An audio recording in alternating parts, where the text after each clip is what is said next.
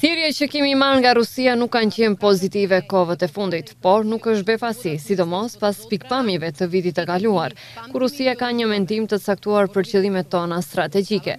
Ne duam të kemi marrëdhënie të mira me Rusinë dhe të investojmë në marrëdhënie të mira, po edhe me të gjithë, Fqinjët tanë dhe vendet e tjera, përsërisim të njëjtën fjalë se vendimet strategjike janë tonat. Kjo deklaratë e zëvendës ministres për Mbrojtje Radmila Sheqerinska pas vizitës në spitalin ushtarak në Shkup. Ajo theksoi se nga viti nëntëdhjetë e dy, ky vend ka shprehur konsensusin kombëtar për anëtarësim në Bashkimin Evropian dhe NATO. Nuk përzihemi në punët e të tjerëve, por duam që vendimet tona të jenë tonat.